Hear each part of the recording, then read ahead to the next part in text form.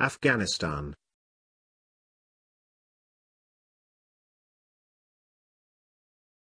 Afghanistan, officially the Islamic Republic of Afghanistan, is a mountainous landlocked country at the crossroads of Central and South Asia.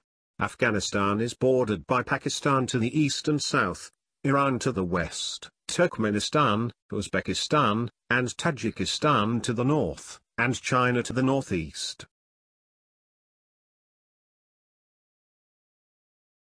Capital, Kabul. Region, South Central Asia. Population, 32,900,000. Afghanistan is a landlocked Islamic republic with an important strategic location in South Central Asia. Most of the country's inhabitants live in rural areas, 70%. The Pashtuns, ethnic Afghans, are the largest ethnic group with more than 40%, the second largest group being Tajiks with almost 30%. All Afghans are Muslim, 99.7%, Sunni 84.7 to 89.7%, Shia 10 to 15%.